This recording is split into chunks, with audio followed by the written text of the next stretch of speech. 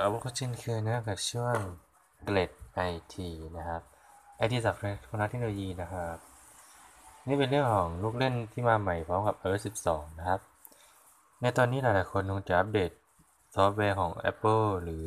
iPhone iPad iPod ของท่านเรียบร้อยแล้วนะครับสำหรับคนใช้ Apple นะครับ คือ iOS 12 ใช่ครับมาลองใช้กันแล้ว ใครที่อัปเดตไม่เป็นหรือยังไม่อัปเดตก็สามารถทยอยอัปเดตไปเรื่อยๆนะเพราะตอนนี้ ออกมาจนถึง 12.1.1 แล้วนะครับผมเพื่อแก้ไขปัญหาต่างๆนะครับสำหรับแนะนำจริงก็ iOS 12นี่ก็ถือว่าดีนะ เพราะว่า iPhone รุ่นเก่าๆ หรือ iPad รุ่นเก่าคุณจะทำงานได้เร็วขึ้นนะครับนี่มีลูกเล่นใหม่ๆ หลายอย่างที่เรามาแนะนำให้ลองเล่นกันดูนะครับจะมีอะไรบ้างเรามาลองดูกันเลยครับ สร้างมีโมจิเองนะครับ หากคุณใช้ iPhone รุ่นที่มี Face ID ก็คือรุ่น iPhone X XS XS Max และ XR นะครับที่สามารถสร้างอวตารดิจิตอลของเราเองได้ด้วยใช้งานเหมือนอนิโมจิเลย แต่เราสามารถปรับแต่งหน้าตาให้เหมือนตัวเองเลยนะครับสวิธีการสร้างมีโมจินะครับทำได้ไม่ยากนะครับคือ 1. เปิดแอป Message ขึ้นมาก่อนนะครับ จากนั้นแตะไปที่หน้าลิงนะครับ เลื่อนไปทางซ้ายสุด โดยแตะที่ปุ่มบวกนะครับ ออกแบบมีโมจิตามความต้องการได้เลยนะครับ ลูกเล่นต่อไปก็คือจัดการกับการแจ้งเตือนแบบกลุ่มนะครับเออสิบสองมีการแจ้งเตือนบน notification center ให้มัดรวมกัน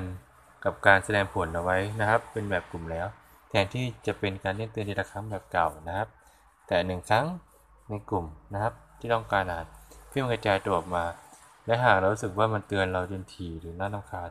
เราก็สามารถปิดง่ายๆด้วยวิธีดังนี้นะครับ วิธีหนึ่ง นะครับผมเลือกกลุ่มที่ต้องการนะครับจากนั้นเราก็ปาดไปด้านซ้ายนะครับ เลือก manage จากนั้นเลือกที่ว่า deliver query หากต้องการจะปิดเสียงแจ้งเตือน หรือเลือก turn off เพื่อยกเลิกการแจ้งเตือนในทุกรูปแบบนะครับ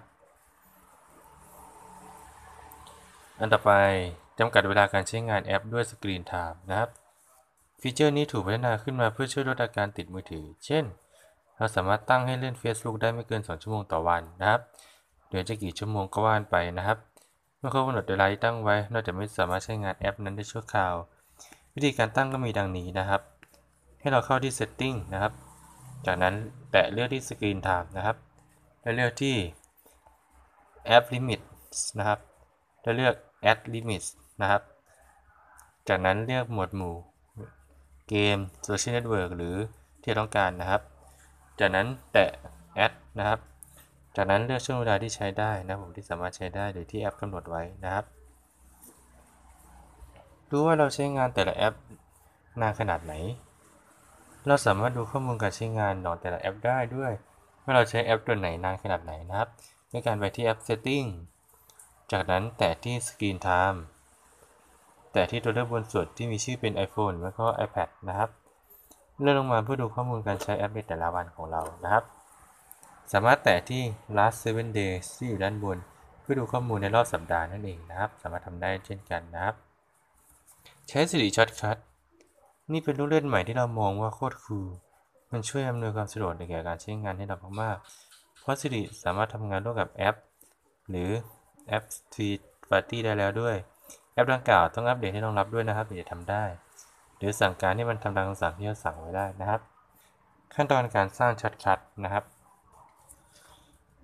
ดาวน์โหลดแอป Shortcut จาก App Store ก่อนนะครับ เป็นแอปฟรีของ Apple นะครับ เปิดแอป Shortcut ขึ้นมา แตะ Create Shortcut เลือก preset ที่ต้องการใช้งานนะครับ หลังจากเลือกได้แล้ว แตะที่ปุ่มฟ้าขาวที่มุมขวาบน ตั้งชื่อที่ต้องการ แตะ Add to Siri บันทึกเสียงเป็นคำสั่งที่ต้องการ แล้วก็แตะดันสองครั้งนะครับ ลูกเล่นใหม่ในกล้อง ใน iOS 12 เวลาถ่ายรูปผ่านแอป iMessage เราจะสามารถเขียนแปะสติกเกอร์ลงไปในรูปได้แล้วนะ ขั้นตอนการทำก็คือ เปิด iMessage แต่ที่รูปกล้องที่อยู่ด้านซ้ายด้านล่าง แต่ไปที่ไอคอนรูปดาวแต่งรูปตามที่ต้องการได้เลยนะครับ วัดความยาวความกว้างด้วย AR อันนี้จริงแล้วแอปวัดระยะด้วย a r คิดนั้นมีออกมาให้ใช้งานกันเพียบ แต่ก็มีแบบติดโฆษณาใช่ครับ เรามาใช้แอปของ Apple โดยตรงดีกว่า